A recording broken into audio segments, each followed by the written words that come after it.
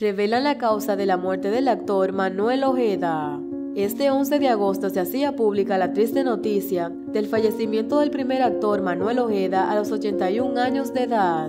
El intérprete que contaba con una larga carrera profesional sobre los escenarios teatrales en la televisión y en el cine, perdía la vida a causa de una afección hepática, según lo reveló Gerardo Lucio, su representante. Su hígado ya estaba muy mal. Esto le provocaba tener ascos, náuseas y no podía comer, a pesar de que yo en varias ocasiones le insistía en que tenía que comer, dijo a la prensa durante el funeral del actor.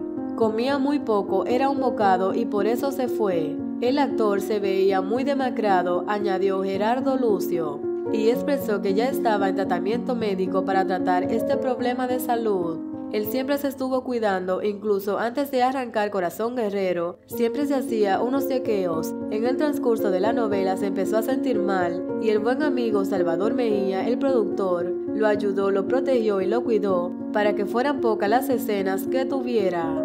El actor alcanzó la fama en los años 70 por su participación en El Calzoncín Inspector, La Casa del Sur y El Elegido y Celestino. En el año 1977 se ganó el reconocimiento del público y colegas, consiguiendo su primer premio Ariel por su personaje El Apando. Pero el papel que hizo que se ganara el respeto y admiración del gran público como el villano de las telenovelas fue el que interpretó en la legendaria El vuelo del águila junto a Humberto Zurita, Jacqueline Andere y Patricia Reyes Espíndola.